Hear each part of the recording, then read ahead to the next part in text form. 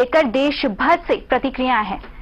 आगे ऊपरी अदालतों में भी केस जाएगा लेकिन जब कोर्ट ने अपना निर्णय सुनाया तो क्या रही लोगों की राय? ये देखते हैं। देखना क्या है? सीबीआई का शुरू में केस जो, जो था ये जो है ये ये जो केस था ये केस है। अब ऐसा है कि जैसी एविडेंस आएगी वैसे प्रेजेंट कर दिया कोर्ट को।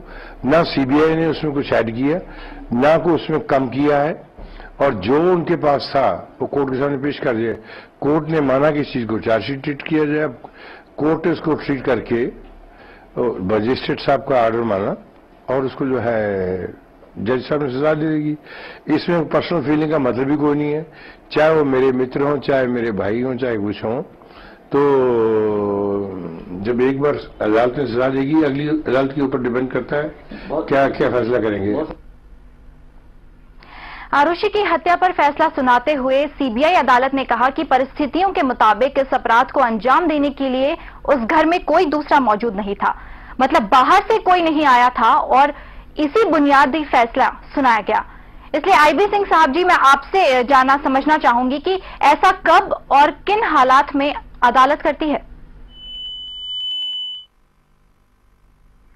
जिनसे संपर्क कर, शायद हमारा नहीं हो पा रहा है, लेकिन हम रुजान जी, हम आपसे जानना चाहेंगे कि जिस तरह से ये फैसला आज आया है, जिस तरह से पूरी इन्वेस्टिगेशन हुई है जो स्टार्टिंग में यूपी पुलिस ने इन्वेस्टिगेशन की थी, उनकी भी थ्योरी यही थी कि तलवार दंपति ने ही आरुषि की हत्या की है। लेकिन बीच में फिर सीबीआई ने क्लोजर रिपोर्ट दाखिल कर दी कि इसके, इस मामले में ज़्यादा सबूत नहीं मिल पाए, इसलिए इस केस को बंद करना ही ठीक रहेगा। लेकिन आखिर में जब आज फैसला सुनाया गया, दोषी करार दिए गए हैं तो आज भी सीबीआई ने यही कहा कि तलवार दंपति ने ही हत्या की है आरुषि और हेमराज की। यानी कि जो यूपी पुलिस ने स्टार्टिंग में थ्योरी दी थी वही सही थी।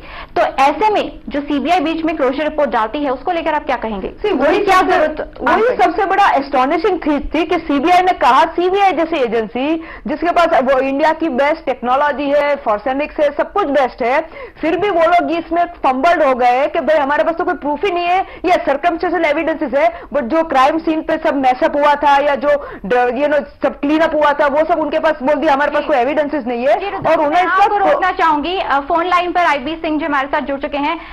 सिंह साहब जी, आपसे ये जानना चाहूँगी कि जिस तरह से स्टार्टिंग थ्योरी जो यूपी पुलिस ने दी थी, उन्होंने भी यही कहा था कि आरुषि की हत्या और आरुषि और हेमराज की हत्या तलवार दंपति ने ही की है, लेकिन फिर बीच में, जनवरी 2011 में सीबीआई क्लोजर रिपोर्ट दाखिल करती है, लेकिन आखिर में भी सीबीआई यही कहती है कि तलवार दंपति ने ही हत्या की है। तो ऐसे में क्लोजर रिपोर्ट जो जनवरी 2011 में दाखिल की गई थी, उसकी क्या ज़रूरत, आपको क्या लगता है उसके पीछे की वजह?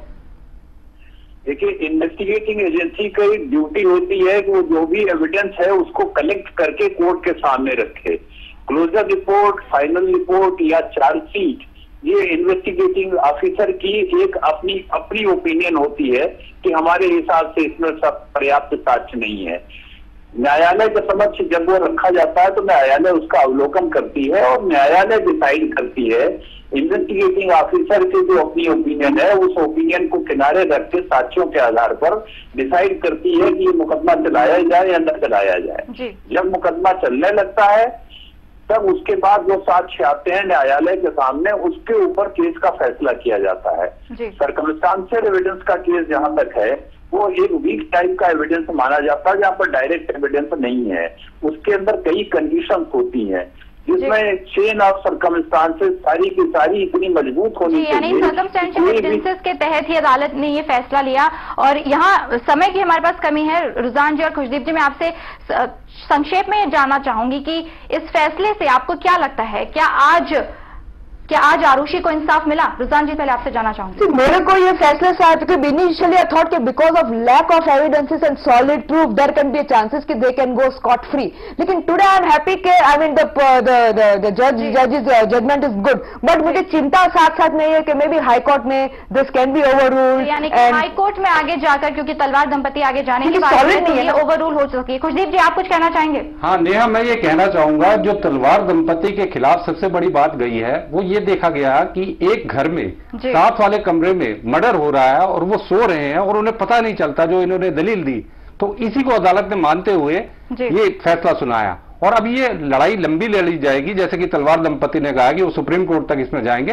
तो अभी भी हमें इंतज़ार करना होगा फाइनल फैसले का। जी यानी कि यहाँ पर अभी भी इंतज़ार बरकरार है क्योंकि लड़ाई और भी लंबी हो सकती है क्योंकि तलवार, दंपति पहले ही कह चुकी है कि वो हाई कोर्ट में अपील करेगी। बहुत बहुत शुक्रिया आप सभी का हमारे साथ इस चर्चा में जुड़ने के लिए और अब चलते चलते आरुषि की याद में कुछ लाइन